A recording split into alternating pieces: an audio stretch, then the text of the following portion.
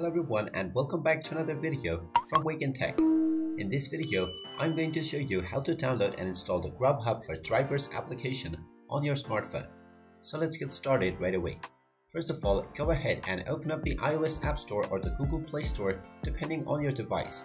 Once you open it up, tap on the search box and simply type in Grubhub for Drivers. After starting your search, you will be able to find the Grubhub for Drivers application. So go ahead and tap on it and you will see the install button. Now just tap on the install button and this will begin the download and installation of the Grubhub for Drivers application on your smartphone.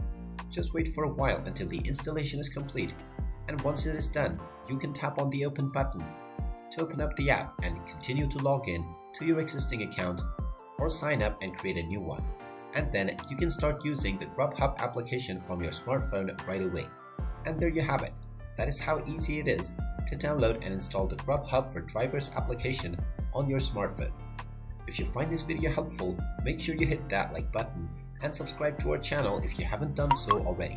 Also ring that notification bell to never miss another update from us. Thank you for watching and I will see you again in the next video.